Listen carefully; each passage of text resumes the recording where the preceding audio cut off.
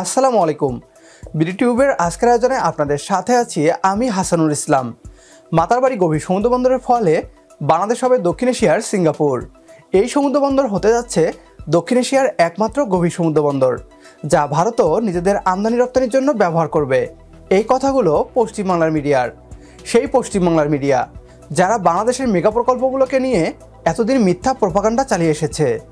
বাংলাদেশ চীনা ঋণের ফাঁদে পা দিচ্ছে। বাংলাদেশের অবস্থাও শ্রীলঙ্কার মতো হবে। আরও কত কিছু। তবে বাংলাদেশের প্রধানমন্ত্রী যে শ্রীলঙ্কা কিংবা পাকিস্তানের প্রধানমন্ত্রীর মতো কাঁচামাতার প্রধানমন্ত্রী নয় আস্থা টের পাচ্ছে পশ্চিমবাংলার দাদারা। মাতারবাড়ি গভীর সমুদ্র বন্দরকে পশ্চিমবাংলার মিডিয়া বলছে বাংলাদেশের অর্থনীতির হৃৎপিণ্ড। এই সমুদ্র বন্দরের ফলে ভারতও বাধ্য হবে বাংলাদেশের উপর নির্ভরশীল হতে। কীভাবে মাতারবাড়ি গভীর সমুদ্র বন্দর বাংলাদেশকে বানিয়ে দিবে দক্ষিণ এশিয়ার সিঙ্গাপুর? কেন ভারতীয় মিডিয়া বলছে ভারতও বাংলাদেশের উপর নির্ভরশীল হতে বাধ্য হবে? কীভাবে দক্ষিণ এশিয়ার বাণিজ্যের নাটাই বাংলাদেশের হাতে চলে আসতে যাচ্ছে? আপনার এই প্রশ্নগুলোর উত্তর জানাব বিডিটিউবের আজকের এই ভিডিওতে। কথা দিচ্ছি। ভিডিওটি শেষ পর্যন্ত দেখার পর মাননীয় প্রধানমন্ত্রী শেখ হাসিনার সাহসিকতায় মুগ্ধ হবেন আপনিও। সাব্বাস বাংলাদেশ। প্রতি বছর ছয় বিলিয়ন ডলার সাশ্রয় করবে দেশটা। আইএমএফ এর থেকে লোন নেওয়া বাংলাদেশে সত্যি কি সুদিন আনতে পারবে মাতার বাড়ি বন্দর? চান্স কতটা? জাপানের বিগ বি এবার বাংলাদেশে কাবাল দেখাল। বাংলাদেশের ব্লু ইকোনমি টেক্কা দেবে সিঙ্গাপুর, মালয়েশিয়াকে। এটাও কি বাস্তবে হওয়া সম্ভব? কেন বাংলাদেশ পরিকল্পনা করল মাতার বাড়ি গভীর সমুদ্র বন্দর তৈরি করার? সতেরো হাজার সাতশো সাতাত্তর কোটি টাকা ব্যয় করার এক্সাক্ট কারণটা জানেন? বঙ্গোপসাগরের কোল ঘেঁষে মাতার বাড়ি এবার বাংলাদেশের অর্থনীতির হৃৎপিণ্ড। জাপান তাদের দেশে যা করতে পারল না, এই দেশে এসে করে দিল। শুধুমাত্র সমুদ্র বন্দরই নয়, বিদ্যুৎ কেন্দ্র তৈরি হচ্ছে মহেশখালীর মাতার বাড়িতে। চীন থেকে আনা বিশ্বের তৃতীয় বৃহত্তম ড্রেজার মেশিন ক্যাসিওপিয়া ফোর সাগরের বুকে রাজত্ব করে বেড়াচ্ছে। দক্ষিণ এশিয়ার সব থেকে গভীর সমুদ্র বন্দর মাতার বাড়ি তৈরি হবে। আর এটাই বাংলাদেশের ব্লু ইকোনমি বা নীল অর্থনীতিকে চাঙ্গা করবে নিঃসন্দেহে।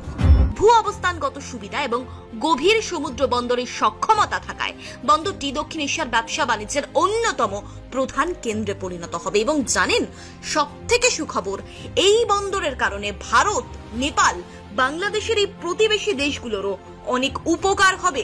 জাইকার সমীক্ষা প্রতিবেদন থেকে জানা গিয়েছে মহেশখালীর মাতার বাড়ি এবং জাপানের কাশিমার ভূপ্রকৃতি প্রায় একই ধরনের। তাই কাশিমা চ্যানেল তৈরির মাধ্যমে বন্দরকে সমুদ্রের সঙ্গে যুক্ত করা হবে। দক্ষিণ এশিয়ায় সর্বপ্রথম গভীর সমুদ্র বন্দর তৈরি করছে বাংলাদেশ। ভারত, পাকিস্তান, শ্রীলঙ্কা।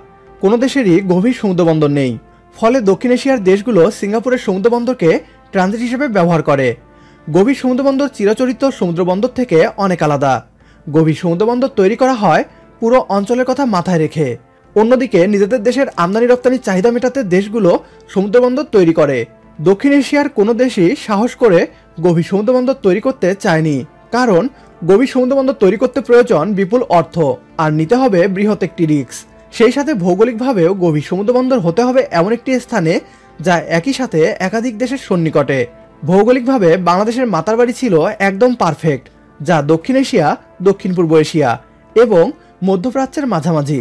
ফলে বাংলাদেশ গভীর সমুদ্র বন্দর তৈরির সিদ্ধান্ত নেয়। পরবর্তীতে বাংলাদেশে গভীর সমুদ্র বন্দরের ভবিষ্যৎ সম্ভাবনাকে অনুমান করতে পেরে জাপান ঠিক করে। মাতার বাড়িতে গভীর সমুদ্র বন্দর তৈরি করবে নিজেদের অর্থায়ন ও কারিগরি সহায়তায়। এরপর বাকিটা ইতিহাস। প্রিয় দর্শক, জাপানিরা সেখানেই বিনিয়োগ করে, যেখানে তাদের মনে হয় ভবিষ্যতের জন্য সম্ভাবনাময় একটি প্রকল্প। আজ পর্যন্ত এমন কোনো রেকর্ড নেই।